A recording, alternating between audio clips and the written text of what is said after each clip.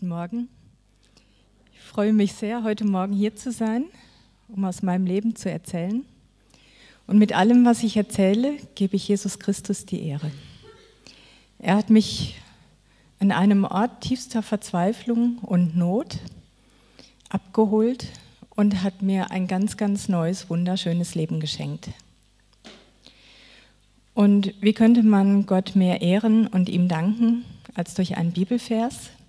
Und da ist mir eine Stelle sehr wertvoll geworden, als ich die gelesen habe im Lukasevangelium, als Maria erfahren hat, dass sie den Messias zur Welt bringen wird, hat sie Gott ein Danklied gesungen. Und ein Vers heißt, denn er, der Mächtige, ist heilig und er hat Großes für mich getan. Seine Barmherzigkeit gilt von Generation zu Generation allen, die ihn ehren. Sein mächtiger Arm vollbringt Wunder. Ich spreche heute von einem Gott, der immer an mich geglaubt hat, auch in einer Zeit, als ich nicht an ihn glauben wollte. Ich habe nämlich in meiner Teenagerzeit eine Absprache getroffen. Ich habe gesagt zu Jesus, an einen Gott, der so viel Schlechtes in meinem Leben zulässt, will ich nicht mehr glauben. Ich glaube nicht, dass es den gibt und ich will mit dir nichts mehr zu tun haben. Ich habe mein Leben aus eigener Kraft gelebt und ich habe viele schöne Dinge erlebt, aber auch viele schwere Dinge. Eins der sehr schweren Ereignisse in meinem Leben war 1992 die Scheidung. Ich war auf einmal alleine mit zwei kleinen Mädchen. Die jüngere Tochter Nadine war sechs Jahre alt. Die ältere Tochter Steffi war acht Jahre alt. Und 1992 war es gar nicht einfach, als alleinerziehende Mutter überhaupt eine Wohnung zu finden, arbeiten zu müssen, für die Kinder da zu sein und die Ferien zu bewältigen. Die Kinder hatten mehr Ferien als ich. Und das Ganze ohne eine Familie im Hintergrund, die mir hätte helfen können. Aber meine Kinder haben mir immer sehr viel Freude und sehr viel Kraft gegeben. Und die Liebe zu meinen Kindern, die hat mir das ermöglicht, dass ich das auch alles geschafft habe. Wir waren uns einander sehr wichtig, auch die Mädchen untereinander.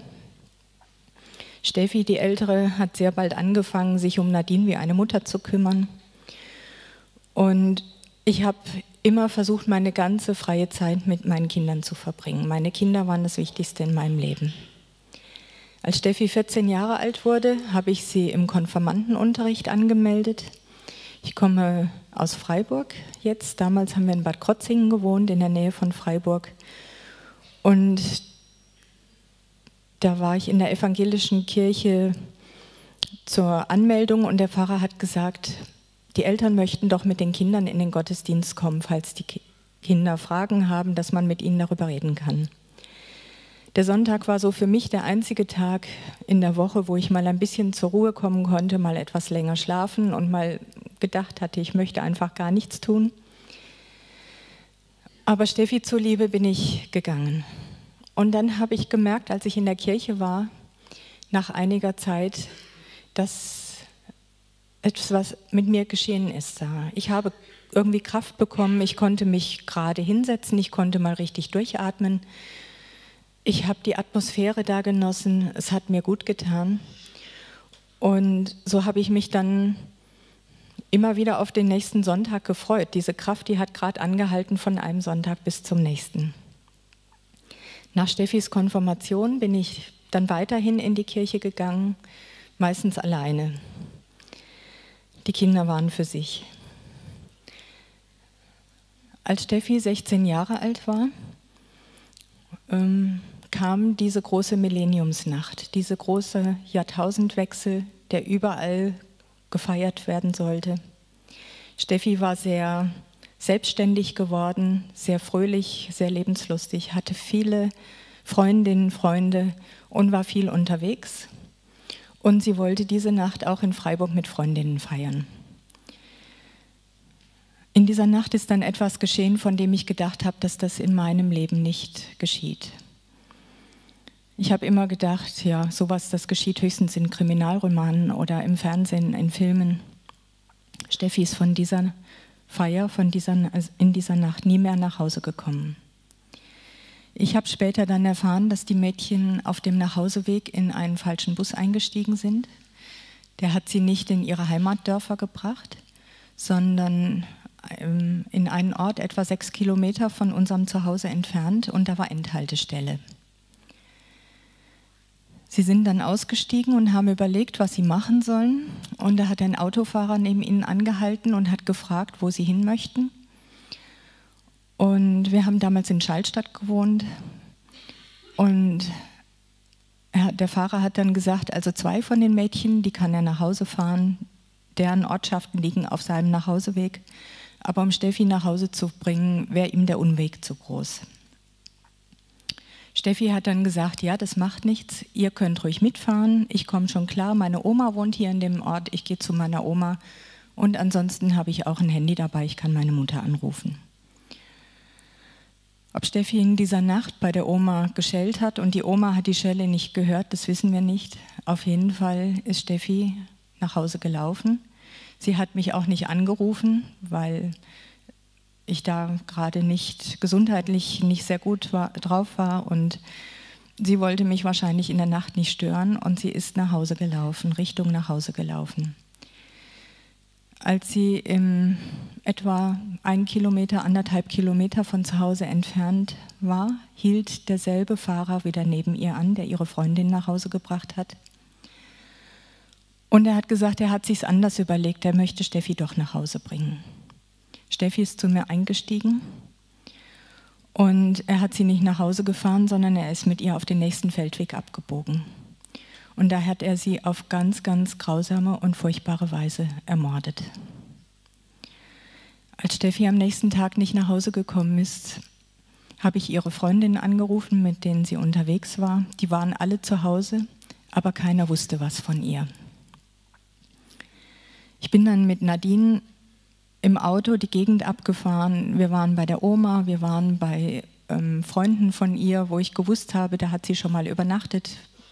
Und nirgendwo war Steffi zu finden. Und wir konnten das nicht verstehen. Ich habe immer wieder versucht, auch sie auf dem Handy anzurufen. Sie hat nicht reagiert.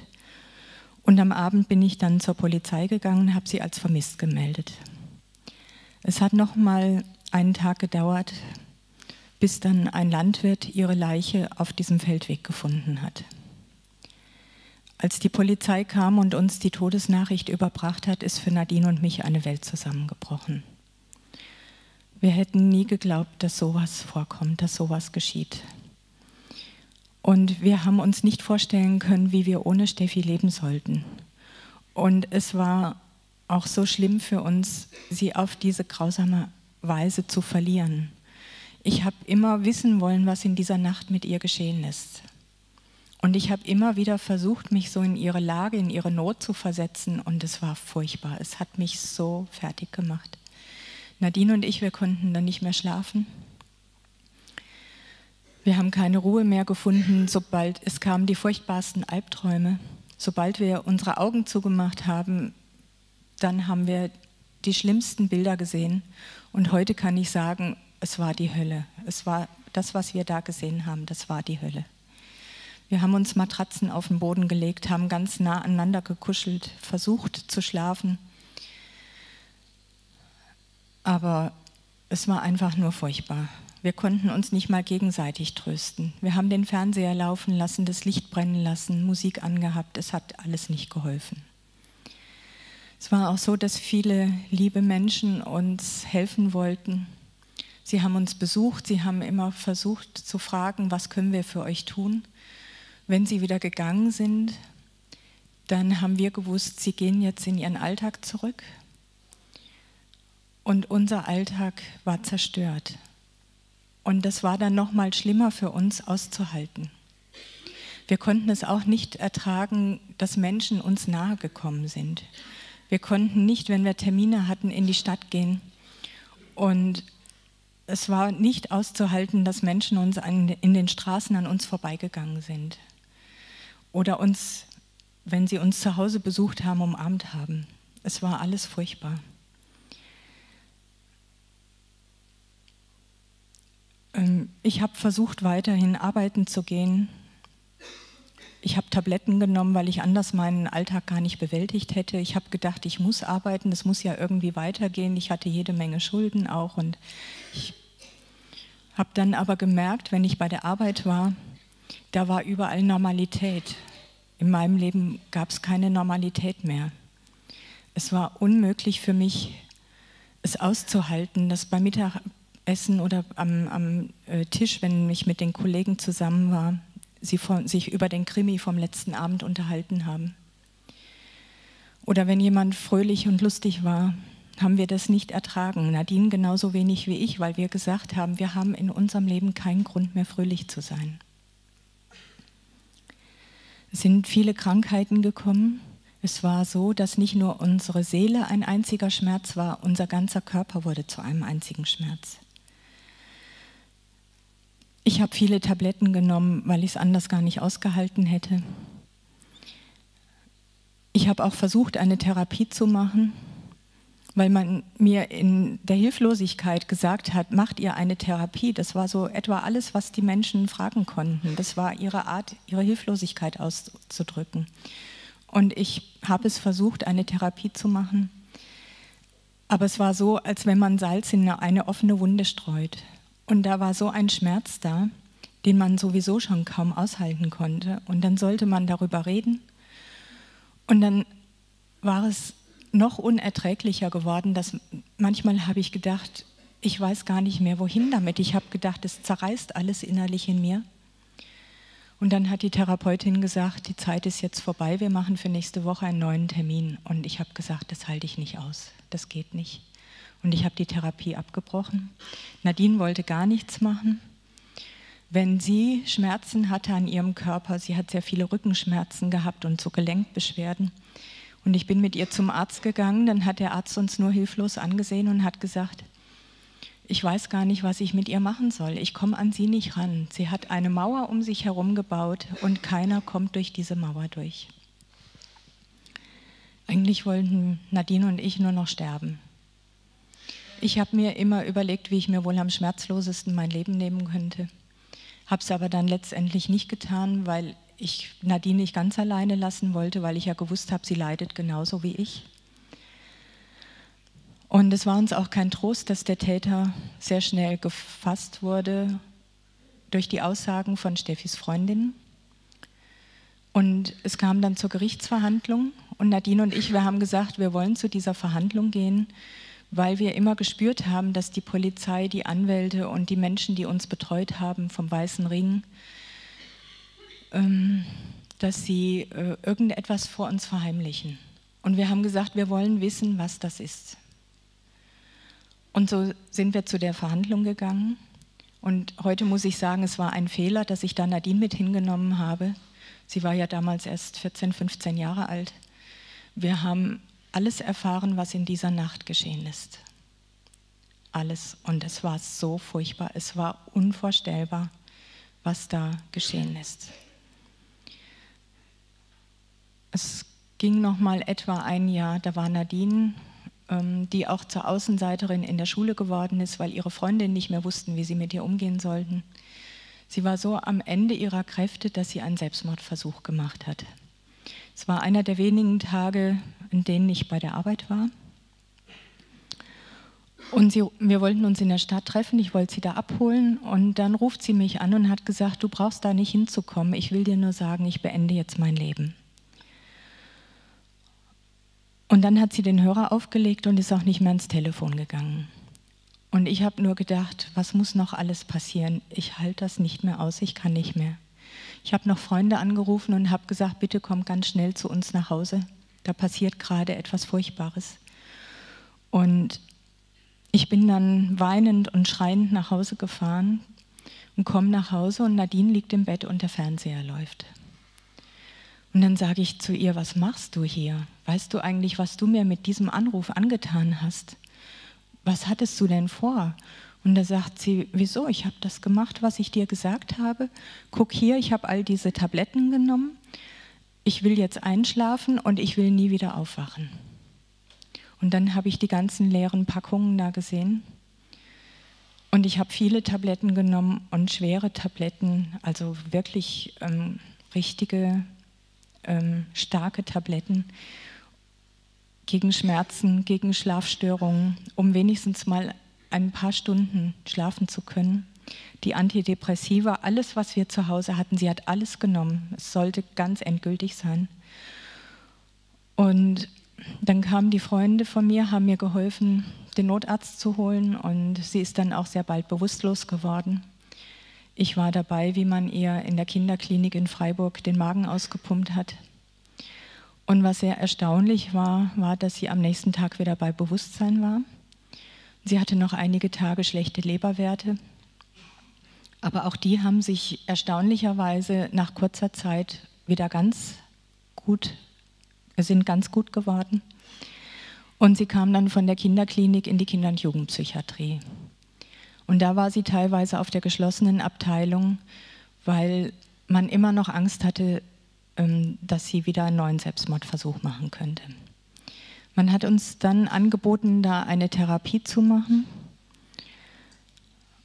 Und ich wollte ja Nadine wiederhaben. Und deswegen habe ich dann gesagt, also gut, ich stimme dieser Therapie zu. Wir haben beide diese Therapie gemacht. Aber es hat auch nicht geholfen. Nadine hat dann angefangen, sich mit Rasierklingen die Arme aufzuritzen. Und sie hat gesagt, immer wenn das Blut fließt, dann hat sie seelisch etwas Erleichterung.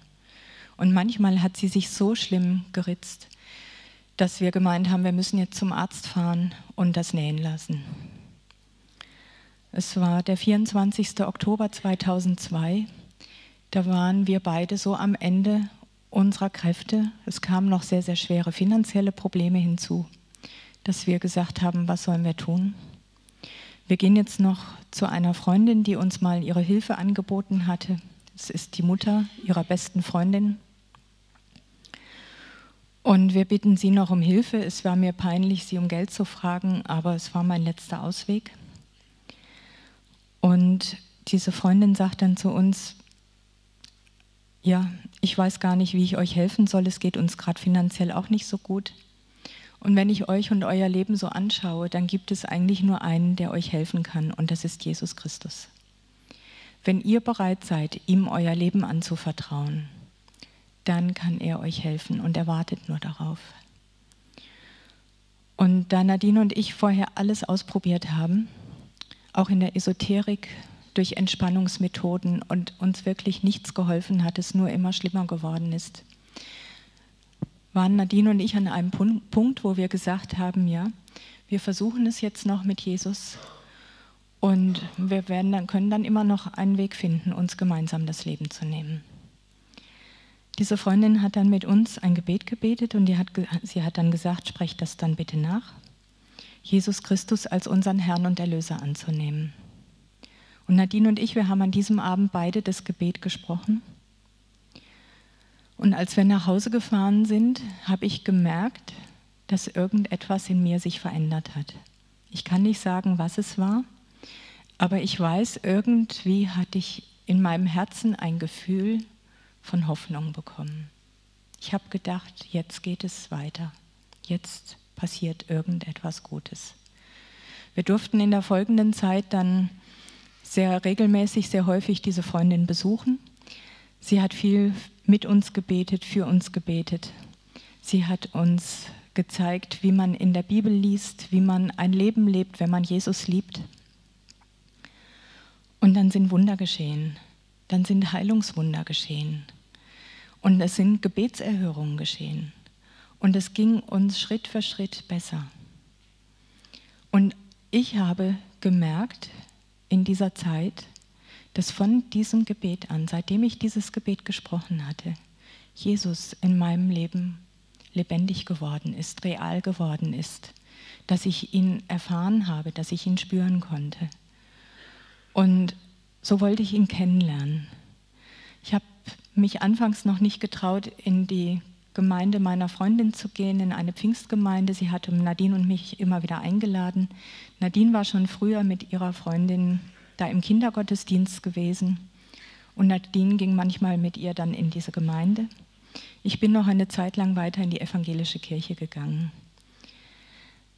und habe das auch lange Zeit, auch nach Steffis Tod so gemacht, weil ich niemandem begegnen wollte und weil ich auch keine Menschen um mich herum sitzen haben wollte, dass ich mich einfach ganz hinten hingesetzt habe. Ich bin zu spät hingegangen, bin frü äh, früher dann vor Ende des Gottesdienstes wieder gegangen, um nur ja niemanden sehen oder begrüßen zu müssen, auch den Pfarrer nicht. Und dass ich auch immer so den Weg, so einen Fluchtweg zur Tür hatte. Aber irgendwann habe ich dann Mut bekommen, doch mal in die Pfingstgemeinde meiner Freundin zu gehen. Ich habe das genauso gemacht, dass ich später hingegangen bin. Dass der Gottesdienst hatte da schon angefangen. Ich stand ganz hinten in einer Ecke und als ich gemerkt habe, der Gottesdienst geht zu Ende, dann bin ich gleich gegangen. Als ich das, ich habe mich wohlgefühlt in dieser Gemeinde und dann bin ich auch wieder hingegangen und am nächsten Sonntag stand hinten in dieser Ecke ein Stuhl für mich. Und das war so ein schönes Zeichen. Es war so ein Zeichen, dass ich da willkommen bin und ja, dass man sich auf mich freut. Und so habe ich es dann noch einige Zeit gemacht und an einem Sonntag gab es Abendmahl und da kam eine Frau mit dem Brot und dem Wein zu mir und hat mir das angeboten. Und dann war es so, da war das Eis gebrochen. Ich konnte das annehmen von ihr. Ich habe das Abendmahl genommen und ich konnte bleiben bis zum Ende des Gottesdienstes. Und dann konnte ich es ertragen, dass die Menschen mich begrüßt haben, dass sie gesagt haben, schön, dass du da bist, wir freuen uns über dich. Und von da an habe ich mich zu dieser Gemeinde dazugehörig gefühlt. Es haben viele liebe Menschen für Nadine und mich sehr, sehr liebevoll und sehr ausdauernd für uns gebetet. Und wir haben weiterhin das Wirken von Jesus in unserem Leben erfahren dürfen. Wir haben gespürt, dass er uns wirklich hilft. Es sind so viele Wunder geschehen. Und es hat mir dann auch eine Freundin, eine Bekannte, eine Bibel geschenkt. Und ich habe eines Abends mal in dieser Bibel gelesen vor dem Einschlafen. Und ich bin über dem Lesen der Bibel eingeschlafen und ich konnte tatsächlich mal ein paar Stunden ohne Albträume schlafen und bin am nächsten Morgen so erfrischt aufgewacht, dass ich gedacht habe, ähm, das war ein Zufall. Ich konnte sogar arbeiten gehen und habe Kraft gehabt für den ganzen Tag und habe aber gedacht, das war Zufall und habe das am nächsten Abend wieder probiert und dann habe ich gemerkt, es hat wieder funktioniert. Und von da an habe ich angefangen, selber in der Bibel zu lesen. Ich wollte Jesus kennenlernen, ich wollte wissen, wie er ist. Und es war auch oft so, dass, dass er durch das Lesen, durch diese Worte, die ich gelesen habe, zu mir gesprochen hat, in meine Situationen hinein. Und so kam auch der Wunsch in mich, dass ich mich taufen lassen wollte, so wie Jesus im Jordan getauft worden ist. Und es gab dann so eine Taufvorbereitung in unserer Gemeinde und eine sehr, sehr liebe Frau hat da für mich mit mir so diesen Grundkurs gemacht, um mich darauf vorzubereiten. Und ein Thema war auch Vergebung. Und es gab viele Menschen in meinem Leben, denen ich da schon vergeben konnte, weil ich die Liebe von Jesus und sein Wirken in meinem Leben so stark gespürt habe. Und eines Tages hat die Frau mich dann auch gefragt, kannst du auch dem Mörder deiner Tochter vergeben? Und dann habe ich nachgedacht und habe gedacht, nein, das kann ich nicht, das ist mir zu schwer. Und dann sagt sie zu mir, ja, aber Jesus hat doch schon so viel für dich getan in deinem Leben und er liebt dich doch so und du liebst ihn. Vielleicht kannst du aus Gehorsam zu Jesus vergeben. Du siehst hier in der Bibel, sie hat mir viele Bibelstellen gezeigt und ich habe sie auch selber immer wieder gelesen, wie wichtig es für Jesus ist, dass wir unseren Feinden vergeben. Und dass wir unseren Feinden Gutes tun und dass wir für sie beten. Und dann habe ich gesagt, ja, aus Gehorsam kann ich ihm vergeben. Habe das auch im Gebet ausgesprochen. Und kurz vor der Taufe war es so, dass ich sehr fragend geworden bin. Es kamen nochmal so Zweifel. Ich habe angefangen mit Jesus so zu sprechen, als wenn er wie ein Partner, ein, ein guter Freund vor mir gestanden wäre, neben mir gesessen ist oder immer bei mir ist. Und ich habe so Zwiegespräche mit ihm begonnen. Und dann habe ich zu Jesus gesagt, was hat das für einen Sinn, dass Nadine und ich jetzt gerettet sind und dass wir bei dir in der Ewigkeit leben werden, wenn ich nicht weiß, was mit Steffi ist. Und dazu möchte ich noch mal etwas zurückgehen in einer Zeit, Vor meiner Bekehrung habe ich in der evangelischen Kirche während eines Gottesdienstes von Steffi eine Vision gehabt. Da erschien während des Gottesdienstes auf einmal mitten im Raum eine große Leinwand und darauf erschien Steffis Gesicht. Sie hat nichts gesagt zu mir, aber sie hat mich so schön angestrahlt und so friedlich ausgesehen. Sie hat so ein hübsches Lächeln gehabt. Und ihre Augen haben so viel Frieden ausgestrahlt und so viel Freude, dass ich damals gedacht habe, jemand kann nur so aussehen, wenn er ganz nah bei Gott lebt. Und ich habe gesagt, danke Gott, dass du mir das gezeigt hast, dass ich wissen darf, dass sie bei dir ist. Aber als ich dann selber in der Bibel gelesen habe, habe ich gelesen, und auch Freunde haben mir das bestätigt, nur wer sein Leben Jesus übergibt und für die Vergebung seiner Sünden bittet, nur wer sich bekehrt, wird durch Jesus den Weg zum Vater haben, in die ewige Herrlichkeit. Und ich habe an einem Tag gesagt, wo ich so richtig verzweifelt nochmal war und in Depressionen gefallen bin, Jesus, was ist mit Steffi? Ich möchte so gerne wissen, was mit Steffi ist. Und in dem Moment war es so, als wenn er mich an meine Hand nimmt und er zieht mich vom Sofa hoch wo ich gesessen bin und gebetet und geweint habe. Und er führt mich an meinen Wohnzimmerschrank und ich fasse an diesen Wohnzimmerschrank hinein und nehme diese kleine Gideon-Bibel in die Hand. Die hatte ich mal in Steffis Zimmer gefunden beim Aufräumen. Und ich wusste gar nicht, dass wir diese Bibel noch haben. Und ich hatte sie vielleicht ein paar Mal vorher in der Hand, aber an diesem Tag habe ich sie genommen und ich habe sie aufgeschlagen und ich habe sie genau an der Stelle aufgeschlagen, an der Steffi im Alter von elf Jahren ein Gebet unterschrieben hat, Jesus Christus als meinen Herrn und der Retter anzunehmen. Und in diesem Moment sagt Jesus zu mir, guck mal hier, hast du es schwarz auf weiß. Ich habe für alles gesorgt. Es geht Steffi gut, sie ist bei mir und du kannst ganz beruhigt sein. Und dann habe ich so eine Freude gehabt.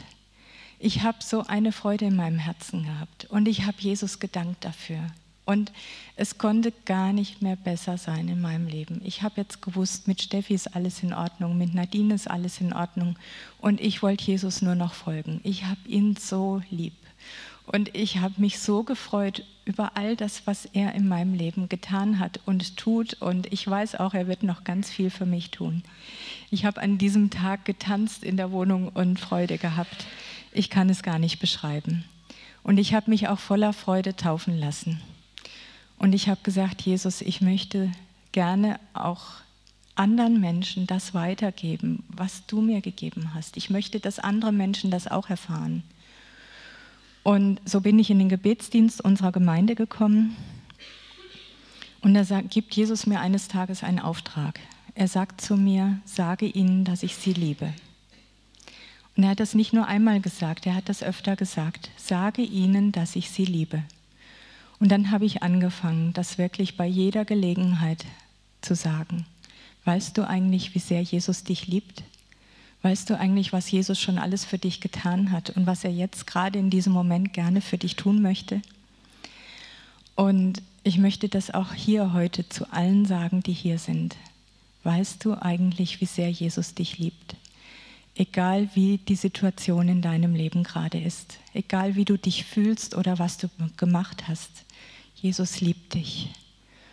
Und ja, er hat so gute Gedanken über dir und er steht vor dir und er möchte dich in seine Arme nehmen.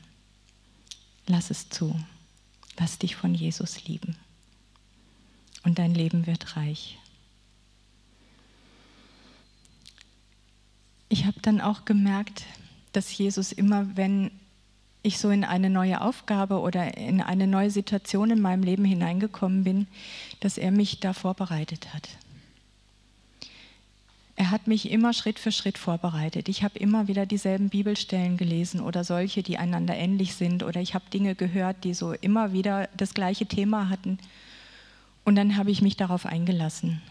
Und so kam es auch im Jahr 2005, dass ich nach einem Gottesdienst in dem es über Vergebung ging, aufstehen konnte und habe Jesus meine Hände entgegengehalten und habe gesagt, Jesus, heute bin ich bereit, ich kann dem Mörder meiner Tochter aus vollem und ganzem Herzen vergeben.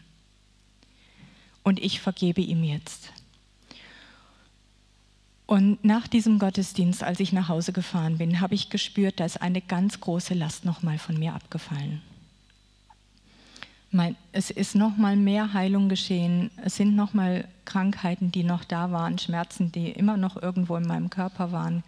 Die sind ganz weggegangen es war alles so, so ein Prozess, es ging alles so stückweise. Und so ist auch nach dieser Vergebung nochmal ganz viel in meinem Leben geschehen. Und meine Beziehung zu Jesus ist auch dadurch noch tiefer geworden. Und dann fing er an, mich auf etwas Neues vorzubereiten. Und zwar habe ich, wenn ich Bibel gelesen habe, immer wieder das Wort in Jesaja 61, Vers 1 gelesen. Er hat mich gesandt, den Elenden gute Botschaft zu bringen, die zerbrochenen Herzen zu verbinden, zu verkündigen den Gefangenen die Freiheit, den Gebundenen, dass sie frei und ledig sein sollen. Besonders dieses Wort zu verkündigen den Gefangenen die Freiheit. Ich habe von dem Moment an, als ich diese Vergebung ausgesprochen habe, gewusst, dass Jesus etwas Besonderes mit mir vorhat, mit meinem Leben. Und es kam so eine Ahnung in mir hoch. Und die hat sich dann auch bestätigt, als ich im Jahr 2007 in Freiburg in eine neue Gemeinde gegangen bin. Ich habe nicht verstanden, warum. Aber schon bald habe ich gemerkt, da sind Menschen, die ins Freiburger Gefängnis gehen, um da das Evangelium hinzubringen. Auch mein Pastor. Und so bin ich eines Tages zu meinem Pastor gegangen und habe ihm meine ganze Geschichte erzählt. Ich wollte einfach, dass er mich kennenlernt. Es war auch so, dass Nadine zur gleichen Zeit wie ich auch die Gemeinde gewechselt hat, sodass wir auch jetzt wieder gemeinsam äh, in dieselbe Gemeinde gehen. Ja, und ich habe Past meinem Pastor alles erzählt, was in unserem Leben geschehen ist. Und am Schluss habe ich gesagt zu ihm, vielleicht hat Jesus mich ja hierher in eure Gemeinde gebracht, damit ich mit euch ins Gefängnis gehe. Und der Pastor ist Afrikaner, er ist recht locker drauf und er hat gleich spontan zu mir gesagt, ja gut, geh doch mit. Und ich habe gesagt, ja, mal langsam. Ich möchte das noch prüfen, ich will noch darüber beten, ich möchte da ganz sicher sein. Aber ich habe in meinem Herzen gewusst, das ist der Weg, den Jesus von mir möchte, dass ich ihn gehe. Er hat mich darauf vorbereitet. Und so habe ich kurze Zeit später mich mit dem Leiter einer Organisation äh, verabredet das heißt Schwarzes Kreuz. Das ist eine christliche Straffälligenhilfe in Deutschland. Es gibt einen Arbeitszweig in Freiburg und da sind Menschen aus verschiedenen Freiburger Gemeinden, die da zusammenkommen, um in das Gefängnis zu gehen und die gute Botschaft von Jesus weiterzugeben. Mein Pastor hat mir dieses Treffen vermittelt und der Leiter ist selber Rechtsanwalt und er hat zu mir gesagt, Weißt du, ich habe deine Geschichte verfolgt, allein schon von Berufswegen. Und es war ja wirklich furchtbar, was mit euch geschehen ist. Und jetzt sitzt du hier vor mir und sagst, du willst mit mir ins Gefängnis gehen. Das hier ist ein Männergefängnis, ein Hochsicherheitsgefängnis. Da sind für Baden-Württemberg all die Täter mit den schlimmsten und schwersten Strafen untergebracht, mit den schwersten kriminellen Handlungen. Mutest du dir nicht zu viel zu? Und ich habe ihm erzählt, wie Jesus mich geheilt hat und wie diese Vergebung mich geheilt hat und dass ich vollkommen versöhnt bin mit meiner Vergangenheit durch die Liebe von Jesus und durch alles, was er in meinem Leben getan hat. Und er hat das gesehen, er konnte das erkennen und er hat gesagt, ja, ich freue mich, dass du als Mitarbeiterin bei uns mitmachen möchtest. Ich werde dich anmelden.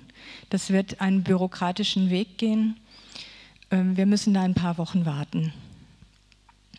Und heute ist zufällig ein ehemaliger Gefangener hier, ein mehrfacher Mörder. Der hat seine Strafe abgesessen. Ich möchte dich jetzt gerne mit ihm bekannt machen.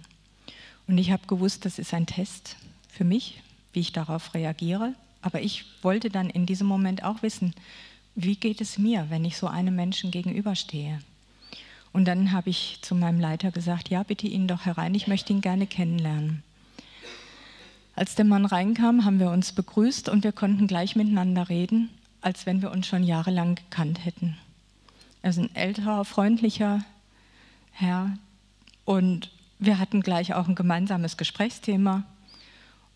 Und was mich erstaunt hat, das war, dass ich in dieser Zeit, wo ich mit ihm geredet habe, so eine Liebe hatte in meinem Herzen, so ein, eine Wärme gefühlt habe und eine ganz tiefe Liebe gespürt habe. Später dann auf dem Nachhauseweg habe ich Jesus wieder gefragt, was war das? Was hat das bedeutet oder was wolltest du mir damit zeigen? Mit dem, was da in meinem Herzen geschehen ist. Und dann hat Jesus zu mir gesagt, das ist die Liebe, die ich für diese Menschen habe. Und ich möchte, dass du diese Liebe in das Gefängnis bringst. Und das hat mich sehr ermutigt, sehr gestärkt und sehr glücklich gemacht. Und ich habe mich sehr gefreut auf diesen Dienst. Aber ich konnte, äh, ich habe nicht gleich diese Zulassung bekommen. Es hat noch gedauert. Die ist auch dann auf dem bürokratischen Wege, ist dieser Antrag erstmal verloren gegangen, musste neu gestellt werden. Und dann habe ich gesagt, Jesus, du wirst, du möchtest, dass ich ins Gefängnis gehe, du wirst das auch möglich machen, dass ich die Erlaubnis bekomme. Und dann war noch mal ein Ereignis in der Zwischenzeit, eine Freizeit vom Schwarzen Kreuz mit ehemaligen Gefangenen, mit Angehörigen von Gefangenen und mit allen Mitarbeitern und ihren Familienangehörigen. Und ich war dann auch dabei. Ich habe die Männer kennengelernt, die dann schon freigelassen wurden und die so dankbar waren, dass Jesus ihnen neues Leben geschenkt hat und ihre Dankbarkeit und ihre Freude so ausgestrahlt haben und auch ausgedrückt haben durch Zeugnisse und durch ihr ganzes Leben. Und ich durfte an einem Abend auch mein Zeugnis erzählen und hinterher stand ein junger Mann etwas abseits und ich habe gesehen, dass er weint. Und dann bin ich zu ihm hingegangen und habe ihn gefragt, was ist mit dir? ich habe auch gleich wieder so eine ganz tiefe Liebe für ihn gespürt und ja, es hat mir wehgetan, dass er so geweint hat. Und dann sagt er zu mir, weißt du, ich habe im Drogenrausch auch jemanden umgebracht und ich würde das so gerne wieder gut machen und ich kann es nicht.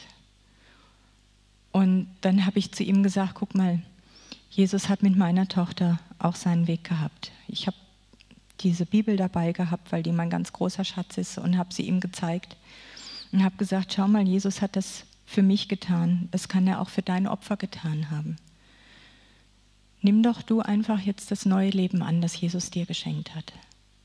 Und leb dein Leben in dieser Vergebung, die Jesus dir geschenkt hat. Und ich habe dann für ihn gebetet und nach einiger Zeit hat er mich dann gefragt, darf ich mal fragen, wie denn der Mörder deiner Tochter heißt? Und ich habe ihm gesagt, ja, ich habe ihm den Namen genannt. Und dann guckt er mich ganz groß an und sagt, mit dem war ich in einer Zelle.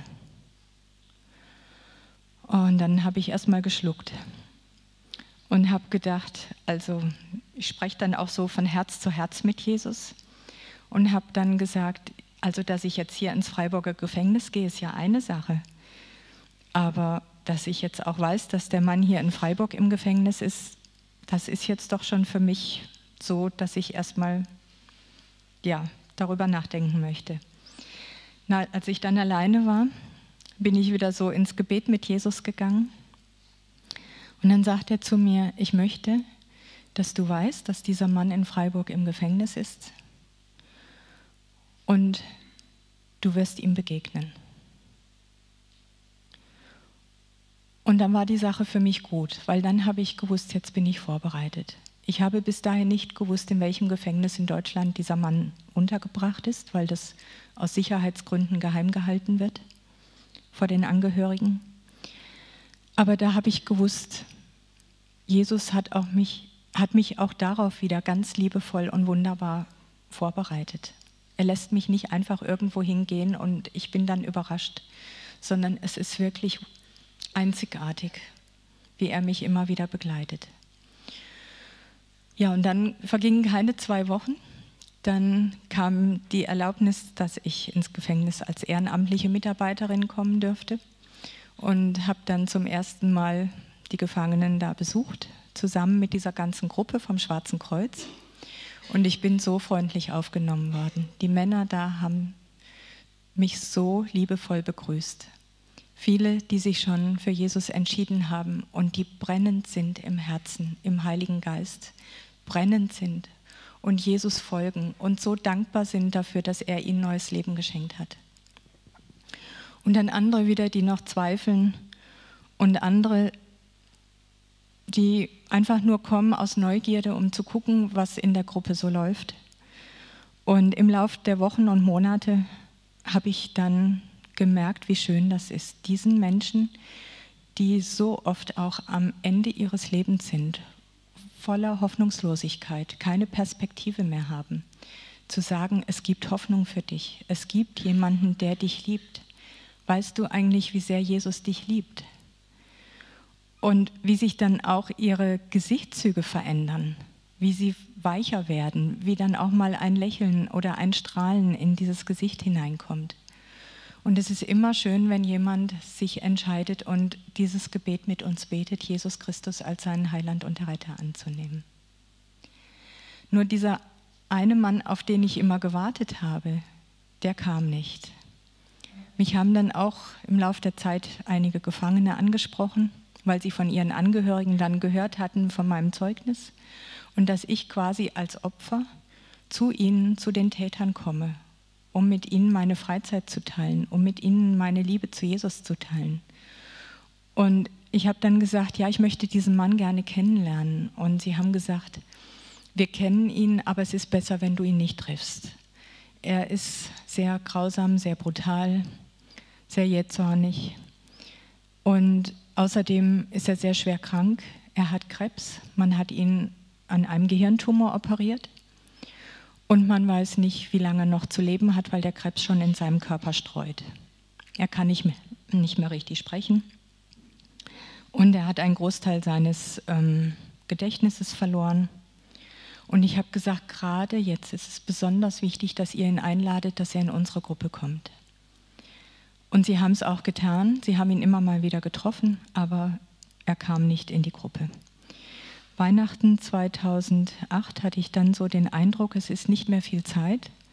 Ich möchte, ich habe mich dann hingesetzt und habe ihm einen Brief geschrieben. Und da habe ich all das reingeschrieben, was ich ihm eigentlich sagen wollte, persönlich sagen wollte. Und ich habe auch das Gebet reingeschrieben, Jesus Christus als meinen Heiland und der Retter anzunehmen. Und diesen Brief habe ich an einen meiner sehr, sehr lieben Brüder im Gefängnis geschickt und habe gesagt, bitte geh zu dem Mann, lies ihm meinen Brief vor und bete mit ihm, auch wenn du denkst, er hört dich nicht oder er reagiert nicht auf das Gebet, aber bete mit ihm. Es ist so wichtig.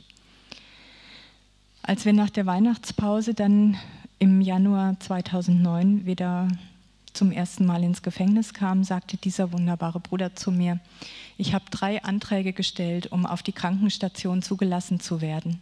Die Gefängnisleitung hat alle drei ähm, Anträge abgelehnt. Ich habe den Mann nicht besuchen können. Ich kann dir leider nicht helfen. Dann bin ich nach Hause gegangen und habe wieder zu Jesus gesagt, ich weiß ganz sicher in meinem Herzen, ich werde diesem Mann noch begegnen. Und ich habe ihm etwas zu sagen. Und ich bin einfach gespannt, wie du das wieder machst. Und es vergingen keine zwei Wochen. Da kam ein Anruf vom Oberstaatsanwalt. Und er sagt zu mir, er möchte gern mein Einverständnis haben, ob man den Täter, ähm, der im Endstadium Krebs hat, zum Sterben aus dem Gefängnis nach Hause entlassen darf. Und ich habe sofort gesagt, ja, ich bin einverstanden. Als ich dann darüber nachgedacht habe, habe ich gedacht, gut, wenn ich dem Mann nicht im Gefängnis begegnen kann, dann kann ich ihm vielleicht zu Hause begegnen. Und ähm, ich hatte seine Familie nicht von den Gerichtsverhandlungen her nicht in guter Erinnerung, aber ich habe gesagt, Jesus, du möchtest, dass ich ihm begegne und dass ich ihm das sage, was ich auf dem Herzen habe, dann wirst du mir auch dabei helfen. Ich habe dann den Oberstaatsanwalt wieder angerufen und habe gesagt, ich hätte gerne die Adresse dieses Mannes, ich möchte ihn gerne besuchen. Und der Oberstaatsanwalt, der war sichtlich irritiert und hat zu mir gesagt, ich kann nicht gleich entscheiden, ob Sie ihn besuchen können, ich muss mir das erst überlegen. Er wird mich dann wieder anrufen, er hat sich meine Telefonnummer aufgeschrieben. Und ein paar Tage später habe ich erfahren, dass er nach meinem Anruf ganz aufgeregt in die Teeküche gegangen ist. Und da saß ein anderer Staatsanwalt und der ist Christ, dieser Staatsanwalt. Und der Oberstaatsanwalt sagt zu ihm, Sie glauben gar nicht, was ich gerade für einen Anruf erhalten habe. Da will sich doch die Mutter des Opfers mit dem Täter treffen. Was ist, wenn die sich noch an ihm rächen will, wenn die noch irgendeine Dummheit begeht? Das kann ich doch nicht zulassen. Und dieser Staatsanwalt, der geht in eine Nachbargemeinde in Freiburg und er ist sonntags eigentlich immer in seiner Gemeinde, aber zwei Wochen vorher war er Gast in unserer Gemeinde an einem Sonntag, als mein Pastor mich gebeten hat, mein Zeugnis zu erzählen, weil ähm, er über Vergebung predigen wollte. Nach dem Gottesdienst kam der Staatsanwalt zu mir hin und hat gesagt, ich wusste, wir kannten uns nur vom Sehen bis dahin, ich wusste ja gar nicht, dass ihr das seid. Ich kenne doch diese Geschichte von damals. Und jetzt darf ich dich hier stehen sehen, vollkommen geheilt von Jesus und versöhnt mit deiner Vergangenheit. Und deine Tochter auch, sie strahlt so und man sieht die Liebe von Jesus in ihr. Und ich freue mich so, dass ihr neues Leben von Jesus bekommen habt und dass wir uns auf diese Weise jetzt mal besser kennenlernen. So. Dieser Mann konnte dem Oberstaatsanwalt sagen, ich kenne die Frau. Sie meint es ehrlich und Sie können dieser Begegnung ruhig zustimmen. Dann hat der Oberstaatsanwalt mich zurückgerufen und hat gesagt, also er ist einverstanden. Ich möchte das Treffen mit der Frau des Täters arrangieren, weil sie wollte ihn pflegen, sie wollte ihn nach Hause holen. Sie hat die ganzen Jahre über zu ihrem Mann gehalten. Und er, äh, sie war auch bereit, dass er ihr meine Telefon, äh, nein, dass er mir ihre Telefonnummer geben konnte. Ich habe die Frau dann auch gleich angerufen und sie war sehr unsicher. Sie wus ich wusste nicht so richtig, wie sie mir begegnen sollte. Und dann habe ich gesagt, es, war jetzt, es ist heute Donnerstag, ich nehme mir am Montag einen Tag Urlaub und dann möchte ich mich gerne mit ihr und ihrem Mann treffen. Ich würde ihnen gerne was sagen. Und das war okay für sie. Und ich habe gesagt, ich rufe sie am Sonntag nochmal an, ob das auch alles so in Ordnung ist. Und an diesem Donnerstagabend ruft mich der Leiter vom Schwarzen Kreuz an und er sagt zu mir, du Ursula, stell dir vor, heute ruft mich ein Ältester meiner Gemeinde an. Der ist Krankenpfleger in einem Krankenhaus und auf seiner Station liegt ein Mann unter Bewachung aus dem Gefängnis. Und der ruft mich heute an und sagt, was muss denn ein Mensch getan haben, damit er lebenslängliche Strafe bekommt? Und ich habe ihm gesagt, ja, so jemanden umgebracht haben oder was Schlimmeres. Ja. Und dann hat er gesagt, ja, so einer liegt gerade bei uns auf der Station. Und da sagt mein Leiter zu ihm, ach, ist das der sowieso? Und dann sagt der Krankenpfleger, woher weißt du das? Ich habe doch keinen Namen genannt, ich darf doch keine Namen nennen. Und dann sagt der Martin, weißt du, wir beten gerade sehr intensiv für eine ganz spezielle Begegnung und hat ihm das Ganze erzählt. Denn in dieser Zeit haben viele, viele liebe Menschen für mich und für diese Begegnung gebetet. Und dann sagt der Martin zu mir, am besten gehst du gleich noch an diesem Wochenende in das Krankenhaus, besuchst ihn. Wer weiß, ob der am Montag noch lebt. Wer weiß, ob die ihn nicht wieder vielleicht verlegen aus Angst, mal es könnte rauskommen, dass er nicht im Gefängnis ist mehr. Und dann habe ich nachgedacht und dann habe ich gesehen, an all diesen, es sind große Wunder für mich. Wirklich große Wunder, an denen ich erkannt habe, dass Jesus dieses Treffen persönlich vorbereitet hat. Und ich habe in meinem Herzen gespürt, wie wichtig für Jesus es ist, dass ich zu dem Mann gehe und mit ihm rede. Ich hätte es nicht tun müssen. Ich habe die freie Wahl gehabt. Ich hätte auch Nein sagen können dazu aber ich habe es selber tun wollen und ich habe an all diesen Dingen, die so wie Mosaiksteine dann so zusammenkamen, gesehen, dass Jesus selber dieses Treffen vorbereitet hat. Und ich habe zu Martin gesagt, es läuft alles seinen guten Weg. Jesus hat das alles vorbereitet. Es läuft seinen offiziellen Weg über die Behörden. Und ich werde bis Montag warten und es wird alles gut. Am Montagmorgen habe ich mich dann mit der Frau in Gegenwart einer Sozialarbeiterin getroffen. Ich konnte den Frauen zum ersten Mal erzählen, schon wie Jesus mein Leben verändert hat. Und dann sind wir zusammen ins Krankenhaus gegangen. Und da war der katholische Gefängnisseelsorger schon vorher im Zimmer bei dem Mann. Und man hatte mir gesagt, also die Gefängnisleitung besteht darauf, dass er bei dem Treffen dabei ist. Vielleicht hatte man immer noch Angst, ich könnte ihm irgendetwas antun. Und ich habe nur gesagt, Herr, es ist alles in deinen Händen und es wird gut werden. Der Seelsorger hat den Mann vorbereitet, er hat ihm erklärt, wer ich bin, wer ihn jetzt besuchen kommt. Und als ich in das Zimmer reingekommen bin, lag der Mann im Bett und er streckt mir seine Hand entgegen und ich gehe hin und ich begrüße ihn, ich nehme seine Hand und dann sagt er zu mir, ich habe viel Mist gebaut in meinem Leben und es tut mir leid. Und dann sage ich zu ihm, ja, genau aus diesem Grunde bin ich heute hier. Ich möchte ihm sagen, dass ich ihm vergeben habe und dass es jemanden gibt, der ihm auch vergeben möchte. Und das ist Jesus Christus. Jesus hat den Krankenpfleger auch dazu benutzt, jedes Mal, wenn er in das Zimmer kam, den Menschen das Evangelium zu erzählen. Und so war der Mann schon vorbereitet. Und er sagt zu mir, ja, ich möchte das gerne tun, aber ich weiß nicht, wie kann ich das denn machen? Und dann habe ich gesagt, ich möchte gerne für ihn beten. Und während wir uns an der Hand gehalten haben und er hat die ganze Zeit meine Hand gestreichelt, und sind ihm die Tränen über die Wangen gelaufen. Dann habe ich dieses Gebet gebetet, Jesus Christus als meinen Heiland und der Retter anzunehmen.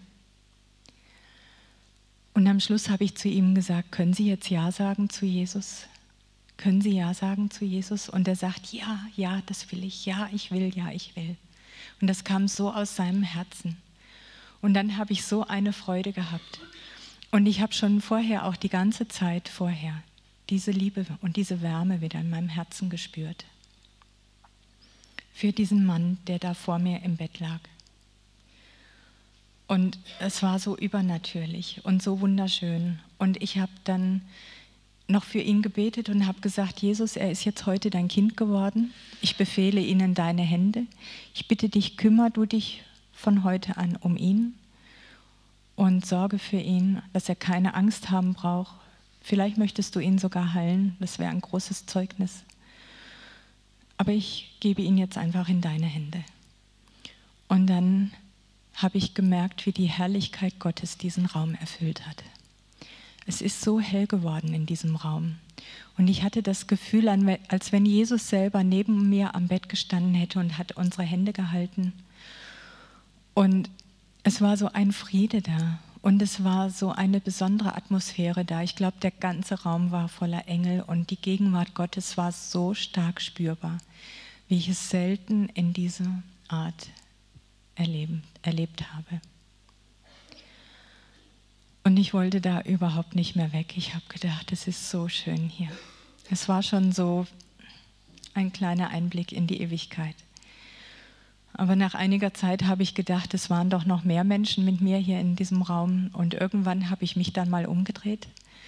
Und dann habe ich gesehen, dass sie ganz tief in ihrem Herzen berührt waren. Und dass sie auch die Gegenwart Gottes gespürt haben.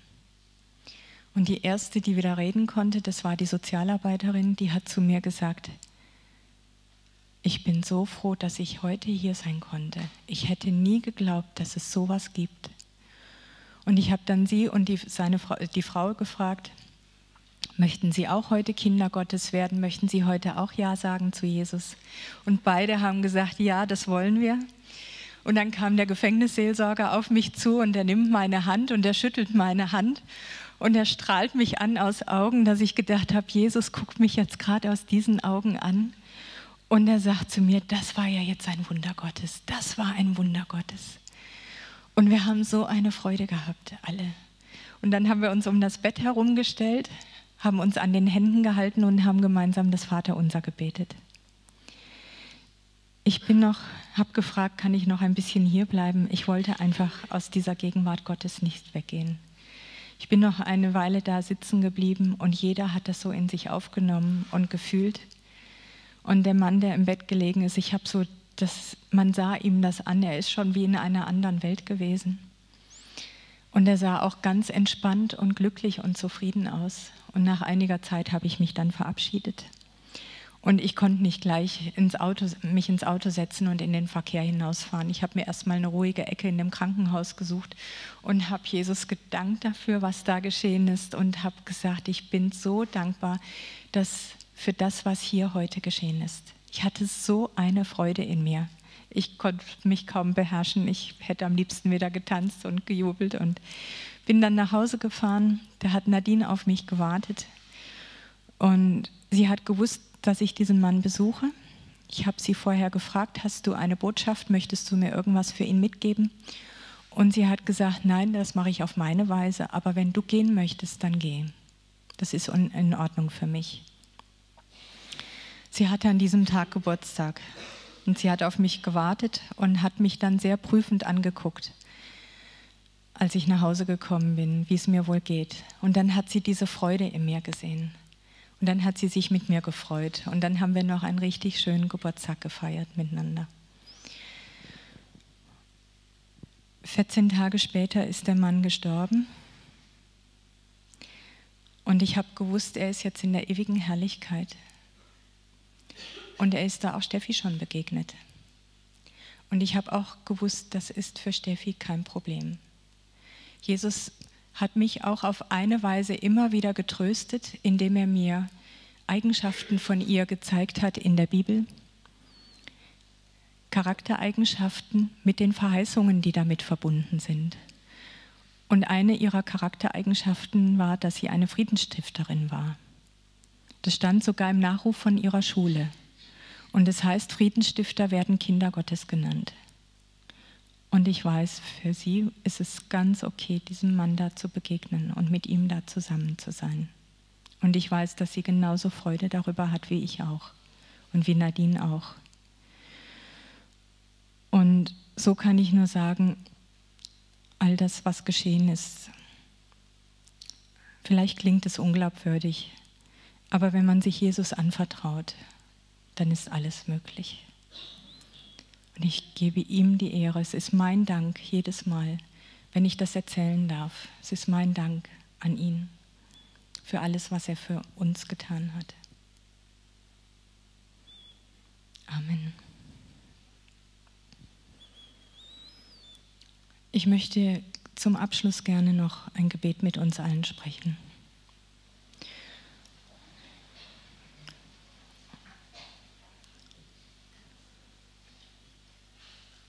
Ich weiß, dass jeder von uns im Lauf seines Lebens von Menschen verletzt wurde. Vielleicht schwerer, vielleicht weniger schwer. Aber es gibt immer Menschen, die wir vielleicht noch nicht loslassen konnten, denen wir diese Vergebung noch nicht aussprechen konnten.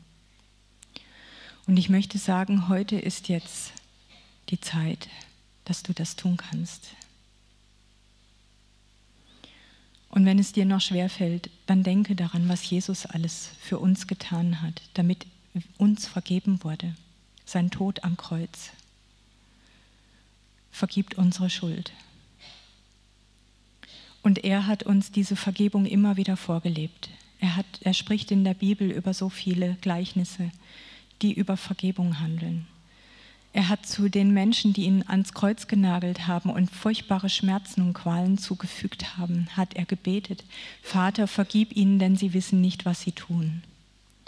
Und er hat zu diesem Verbrecher, der neben ihm am Kreuz sterben musste, gesagt, du wirst noch heute mit mir im Paradiese sein.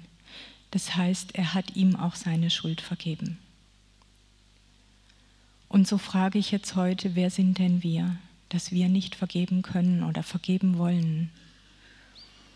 Jesus drückt es immer wieder aus, wie wichtig es ist, weil wir, solange wir noch nicht vergeben haben, gebunden sind an diese Menschen. Und unser Leben schwer ist, oft Bitterkeit und ein hartes Herz da ist. Aber Jesus möchte dieses harte Herz heilen und er möchte all die Bitterkeit und all das, was uns dadurch belastet, von uns nehmen. Und so möchte ich dich jetzt ermutigen, dass du mal in dein Herz hineinhörst. Wem sollte ich heute vergeben? Und dass du diesen Menschen freigibst und ihm Jesus bringst und sagst, heute vergebe ich ihm aus voll oder ihr aus vollem Herzen. Ich vergebe vollkommen. Jesus, bitte komm und heile du mich. All die Wunden, die Verletzungen, die geschehen sind, heile sie, weil ich jetzt vergebe. Und so möchte ich jetzt, dass wir einfach einen Moment still werden. Jesus ist hier bei jedem von uns und er hört jedes Herzensgebet. So darfst du jetzt in deinen Gedanken, in deinem Herzen zu ihm sprechen. Du darfst es aber auch laut sagen, wenn du möchtest. Und wir sind jetzt einfach einen Moment ruhig vor Gott.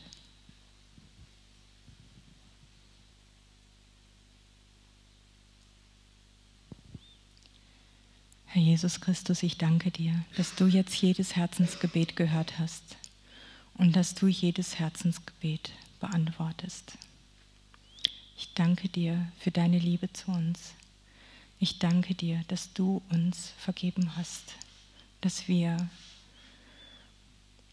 den Weg zu unserem Vater durch dich bekommen haben, dass du uns durch dein Blut rein und weiß gewaschen hast und dass wir jetzt in Kleidern des Heils und der Heiligung vor dir stehen dürfen. Und dir sagen, wir lieben dich für alles, was du für uns an Liebe, in Liebe tust. Wir danken dir für alles, was du in unserem Leben verändern möchtest zum Guten.